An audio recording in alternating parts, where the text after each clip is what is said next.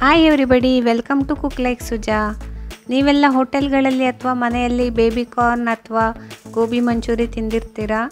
ಇವತ್ತು ನಾನು ಅದೇ ಟೈಪಲ್ಲಿ ಬ್ರೆಡ್ ಮಂಚೂರಿಯನ್ನು ಹೇಗೆ ಮಾಡೋದಂತ ತೋರಿಸಿಕೊಡ್ತೇನೆ. ಬನ್ನಿ. ಅದಕ್ಕೆ ಬೇಕಾಗಿ ಬ್ರೆಡ್ಡನ್ನು ಹೀಗೆ ಸೈಡೆಲ್ಲ ಕಟ್ ಮಾಡಿಕೊಂಡು ಕ್ಲೀನಾಗಿ ಮಿಡ್ಲಲ್ಲಿ ಹೀಗೆ ಪೀಸ್ ಪೀಸಾಗಿ ಕಟ್ ಮಾಡ್ಕೊಳ್ಬೇಕಾಗತ್ತೆ. ನೋಡಿ. ಈ ಥರ ಶೇಪಲ್ಲಿ ಕಟ್ ಮಾಡ್ತಾ ಇದ್ದೇನೆ.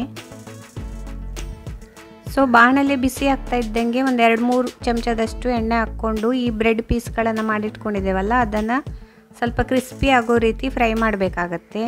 ಎರಡೂ ಸೈಡಲ್ಲೂ ಫ್ರೈ ಮಾಡಬೇಕು. ನೋಡಿ, ಪಲ್ಟಿ ಮಾಡಿ ನಾನು ಎರಡು ಸೈಡಲ್ಲೂ ಫ್ರೈ ಮಾಡ್ತಾ ಇದ್ದೇನೆ. ಸೊ ಈಗ ನಾವು ಬ್ರೆಡ್ ಮಂಚೂರಿಯನ್ ಮಾಡಲಿಕ್ಕೆ ಏನೇನು ಮಾಡಬೇಕಂತ ನೋಡುವ. ಸೊ ಬಾಣಲೆ ಬಿಸಿ ಆಗ್ತಾ ಇದ್ದಂಗೆ ಎರಡು ಮೂರು ಚಮಚ ಎಣ್ಣೆಯನ್ನು ಹಾಕ್ಕೊಂಡು ಶುಂಠಿ ಮತ್ತು ಬೆಳ್ಳುಳ್ಳಿಯನ್ನು ಸಣ್ಣ ಸಣ್ಣದಾಗಿ ಕಟ್ ಮಾಡಿ ಇಟ್ಕೊಂಡಿದ್ದೇನೆ ಅದನ್ನು ಹಾಕಿ ಚೆನ್ನಾಗಿ ಫ್ರೈ ಮಾಡಬೇಕಾಗತ್ತೆ ಮೊದಲಾಗಿ. ನಿಮಗೆ ಖಾರ ಬೇಕಿದ್ದರೆ ಹಸಿಮೆಣಸನ್ನು ಹಾಕ್ಕೋಬೋದು ಸೊ ಇವಿಷ್ಟು ಫ್ರೈ ಆಗ್ತಾ ಇದ್ದಂಗೆ ಈಗ ಈರುಳ್ಳಿಯನ್ನು ಮೀಡಿಯಮ್ ಸೈಜಲ್ಲಿ ಹೆಚ್ಚಿಟ್ಕೊಂಡಿದ್ದೇನೆ. ಅದನ್ನು ಹಾಕಿ ಫ್ರೈ ಮಾಡಬೇಕಾಗತ್ತೆ. ಈರುಳ್ಳಿಯನ್ನು ತುಂಬಾ ಫ್ರೈ ಮಾಡಬೇಕಂತೇನಿಲ್ಲ. ಒಂದು ಸ್ವಲ್ಪ ಮಟ್ಟಿಗೆ ಫ್ರೈ ಮಾಡಬೇಕಾಗತ್ತೆ. ಸೊ ಸ್ನೇಹಿತರೆ, ಸಂಜೆ ಟೀ ಟೈಮಿಗೆ ಇದೊಂದು ಒಳ್ಳೆ ಸ್ನ್ಯಾಕ್ಸ್ ತುಂಬಾ ಪ್ರೊಸೀಜರ್ ಏನಿಲ್ಲ, ಫಟಾಫಟ್ ಮಾಡ್ಕೋಬೋದು. ಗೆಸ್ಟ್ಗಳು ಬಂದಾಗ ಅಥವಾ ನಮಗೇನೆ ಬೋರ್ ಆದಾಗ ಡಿಫ್ರೆಂಟ್ ಏನಾದ್ರು ಬೇಕು ತಿನ್ನೋಕ್ಕೆ ಅಂತ ಅನಿಸಿದಾಗ ಇದನ್ನು ಮಾಡ್ಕೊಂಡು ತಿನ್ಬೋದು. ಸೊ ಈರುಳ್ಳಿ ಸ್ವಲ್ಪ ಫ್ರೈ ಆಗ್ತಾ ಇದ್ದಂಗೆ ಕ್ಯಾಪ್ಸಿಕಮ್ ಹೆಚ್ಚಿಟ್ಕೊಂಡಿದ್ದೇನೆ, ಅದನ್ನು ಹಾಕಿ ಚೆನ್ನಾಗಿ ಫ್ರೈ ಮಾಡಬೇಕಾಗತ್ತೆ.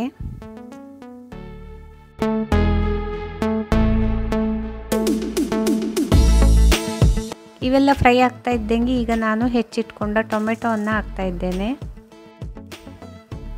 ಟೊಮೆಟೊ ಜೊತೆಗೆ ರುಚಿಗೆ ತಕ್ಕಷ್ಟು ಉಪ್ಪನ್ನು ಹಾಕಬೇಕು. ಅದರೊಟ್ಟಿಗೆ ಟೊಮೆಟೊ ಸಾಸ್ ಮತ್ತು ಸೋಯಾ ಸಾಸನ್ನು ಕೂಡ ಒಂದೊಂದು ಚಮಚ ಹಾಕಬೇಕಾಗತ್ತೆ. ಇವೆಲ್ಲವನ್ನು ಸೇರಿಸಿ ಚೆನ್ನಾಗಿ ಫ್ರೈ ಮಾಡಬೇಕು. ಸೊ ಮಕ್ಕಳು ಸ್ಕೂಲಿಂದ ಬರುವಾಗ ಏನಾದರೂ ಡಿಫ್ರೆಂಟ್ ಐಟಮ್ ಕೇಳುವಾಗ ಹೀಗೆ ನೀವು ಬ್ರೆಡ್ ಮಂಚೂರಿಯನ್ ಮಾಡಿಕೊಟ್ರೆ ತುಂಬಾ ಖುಷಿ ಪಟ್ಕೊಂಡು ತಿಂತಾರೆ. ಎಲ್ಲ ಟೈಮ್ ನಾವು ಹೋಟೆಲ್ಗಳಿಗೆ ಹೋಗೋಕ್ಕಾಗಲ್ಲ. ಹಾಗಾಗಿ ಮನೆಯಲ್ಲಿ ಈ ಥರ ಎಲ್ಲ ಮಾಡ್ಕೊಂಡು ತಿಂದರೆ ನಮಗೂ ಖುಷಿ, ಮಕ್ಕಳಿಗೂ ಖುಷಿ. ಸೊ ಈಗ ಬ್ರೆಡ್ಡನ್ನು ಫ್ರೈ ಮಾಡಿಟ್ಕೊಂಡಿದ್ದೀವಲ್ಲ, ಬ್ರೆಡ್ ಪೀಸ್ಗಳನ್ನು ಹಾಕಿ ಇನ್ನೊಮ್ಮೆ ಚೆನ್ನಾಗಿ ಮಿಕ್ಸ್ ಕೊಡೋಣ. ಸೊ ಇವಿಷ್ಟನ್ನು ಮಾಡಿಬಿಟ್ರೆ ನಮ್ಮ super tasty bread manchurian ready ಆದಂಗೆ. ನೋಡಿ ಎಷ್ಟು ಚೆನ್ನಾಗಿದೆ.